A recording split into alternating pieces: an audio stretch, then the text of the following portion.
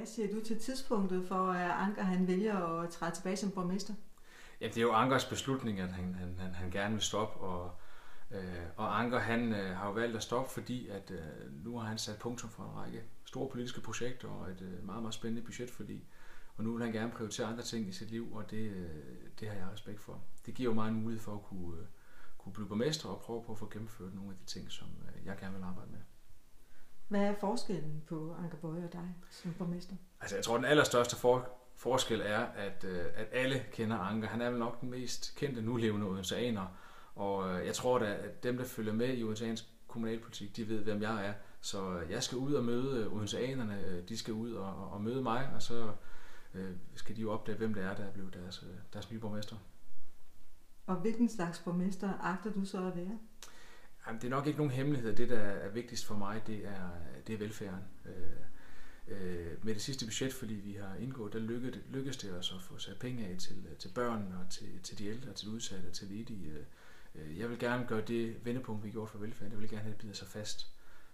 Og så skal vi også kigge på vores, vores medarbejdere. Vi kan se, at vi, vi har et højt sygefravær. Og det der med at have, have glade medarbejdere, det gør altså også noget ved den måde, at borgerne op, oplever velfærden på. Hvis det er sådan, at der er vikarer hele tiden i ældreplejen, så tror jeg, at fru Hansen synes, det er noget af en svingdør, der er hjemme ved hende, når hun skal pleje. Og hvis der hele tiden er udskiftninger i daginstitutionen ved personale, fordi der, der er højt sygefravær, jamen så kan det også virke lidt tumultarisk, når man skal aflevere sine, sine børn. Så det der med at have glade medarbejdere, det giver altså god velfærd. Og så kommer der også et kommunalvalg her i november 2017. Mm. Kan du vinde det, Peter? Det, det, det tror jeg godt, jeg kan. Øh, jeg skal arbejde øh, for det. Øh, det bliver et spændende valg.